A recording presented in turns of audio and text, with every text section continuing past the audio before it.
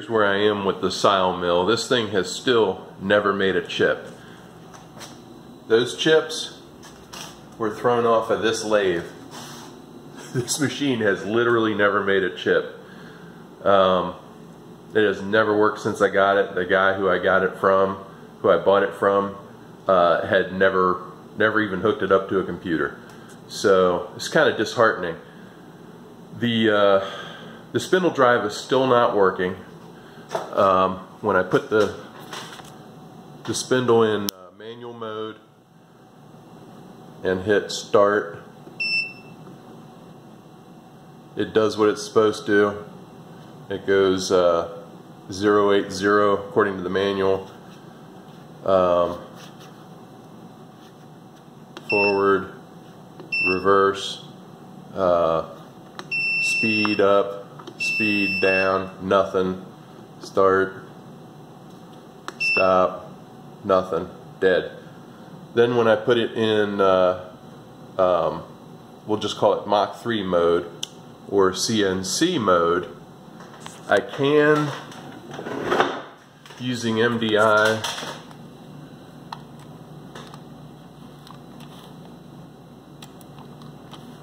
if I give it a a command like uh, let's see M3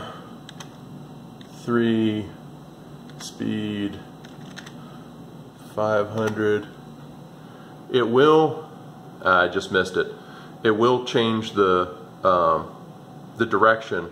It was on reverse on the headstock and it switched to forward and the spindle speed is like it's trying to do something. It's showing the 555 I put in and you know and if I leave it here the spindle LCD will error out unless I uh, stop the stop the spindle. Let's do that again. So right now I'm showing forward. If I go uh, let's see M O 4 speed 555 oops sorry. There. It switches to reverse I get a 0080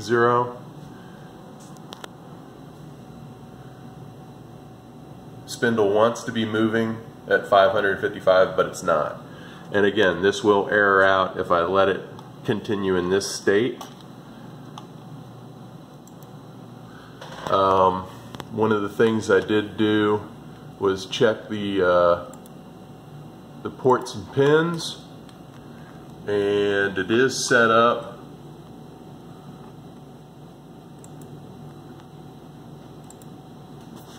the spindle is set up for two and one like it shows in the manual uh, spindle setup oh that's interesting I had uh, unchecked disable spindle relays the last time I used this, but it rechecked them. That's kind of interesting.